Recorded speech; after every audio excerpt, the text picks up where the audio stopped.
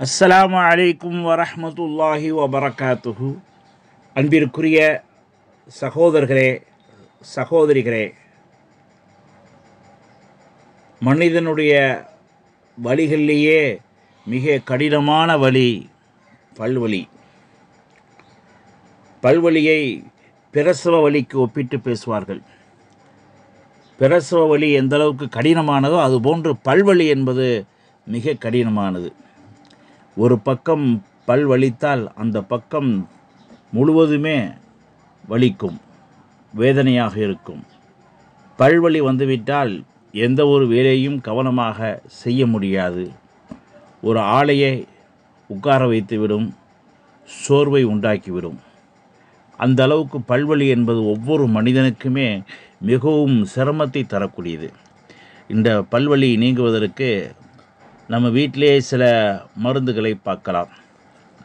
பல்வலி எடுக்கின்ற பொழுது சுடுதண்ணியிலே உப்பை கலந்து வாய் கொப்பளித்தால் பல்வலி குணமாகும் என்று சொல்கிறார்கள் அடுத்தபடியாக கிராம்புகளை எடுத்து பல்வழிக்கக்கூடிய இடத்துல வைத்தாலும் பல்வழி குணமாகும் என்று சொல்கிறார்கள் அடுத்தபடியாக இஞ்சி மிளகு சேர்த்து பல் வலிக்கக்கூடிய இடத்திலே வைத்தால் அந்த வலி குணமாகும் என்று சொல்கிறார்கள் அடுத்தபடியாக பூண்டு கல் உப்பை கொஞ்சம் பொடியாக செய்து பல் வலி உள்ள இடத்திலே பல் வலிக்கக்கூடிய இடத்திலே ஈறு வலிக்கக்கூடிய இடத்திலே வைத்தால் உடனடியாக குணமாகும் என்று சொல்லி காட்டியிருக்கிறார்கள்.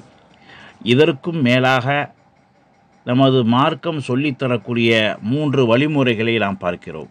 முதலாவது பல் வலிக்கக்கூடிய நேரத்திலே சூரத்துல் ஃபாத்திஹா அல்ஹம்துலில்லாஹி ரப்பில் ஆலமீன் அர் ரஹ்மானிர் ரஹீம் மாலிகி யௌமித்தீன். இந்த சூரத்துல் ஃபாத்திஹாவை ஏழு முறை ஓதி தண்ணீரில் ஊதி பல் வலிக்கக்கூடிய இடத்திலே வைத்தால் பல்வழி குணமாகும் என்று சொல்கிறார்கள். இரண்டாவது வழிமுறை அப்துல்லாஹு ரவாஹா ரதியுல்லாஹு அன்ஹு என்ற தோழர் நபி சொல்லாஹு அலிஹி வசல்லம் அவர்களிடத்திலே வந்து எனக்கு பல் வலிக்கிறது என்று சொன்ன பொழுது இந்த துவாவை ஓதி அவருக்கு ஊதினார்கள். அவருடைய பல்வழி குணமாகிவிட்டது. அந்த துவா அல்லாஹ் மதஹப் அன்ஹு சு அமா எஜிது ஒஃபஹ்ஷஹு பிதாழ்வத்தி நபியிக்கல் மக்கீனில் முபாரக்.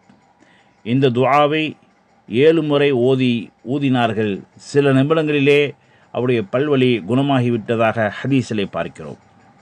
மூன்றாவது வழிமுறை அன்னை ஃபாத்திமா அலி அல்லாஹ் அன்ஹா அவர்கள் நபி ஸல்லல்லாஹு அலைஹி வஸல்லம் அவர்களிடத்திலே வந்து எனக்கு பல் பற்கள் வலிக்கிறது என்று சொன்ன பொழுது அப்பொழுது இந்த துஆவை ஓதி ஊதினார்கள் அவருடைய பல்வலி குணமாகியதாக ஹதீஸிலே பார்க்கின்றோம் அந்த துஆ பிஸ்மில்லாஹி வபில்லாஹி அஸ்அலுக பிஇஸ்ஸதிக وجلالك وقدرتك على كل شيء فإن مريم لم تلد غير عيسى من روحك وكلمتك أن تكشف மே துல்கி ஃபாத்திமா மின துர்ரி குல்லி ஃபசக்கன இந்த துவாவை நபிகள் நாயகம் சொல்லல்லாஹு அலஹி வசல்லம் அவர்கள் ஓதினார்கள். ஃபாத்திமா ரதி அல்லாஹு அன்கா அவர்களுடைய பல்வழி அமைதியாகிவிட்டதாக குணமாகிவிட்டதாக ஹதீஸிலே பார்க்க முடிகிறது. எனவே பல்வழி உள்ளவர்கள் மார்க்கம் சொல்லித்தரக்கூடிய இந்த மூன்று வழிமுறைகளை பின்பற்றி நடந்தால் அவருடைய பல்வழி என்பது குணமாகிவிடும் முற்றிலும் நீங்கிவிடும் என்று தெரிகிறது. அல்லாஹ் ரபுல் ஆலமீன் இந்த அமல்களை செய்வதற்கு நம் அத்தனை பேருக்கும் வாய்ப்பளிப்பானாக. அஸ்ஸலாமு அலைக்கும் வரஹ்மத்துல்லாஹி வபரகாத்துஹு.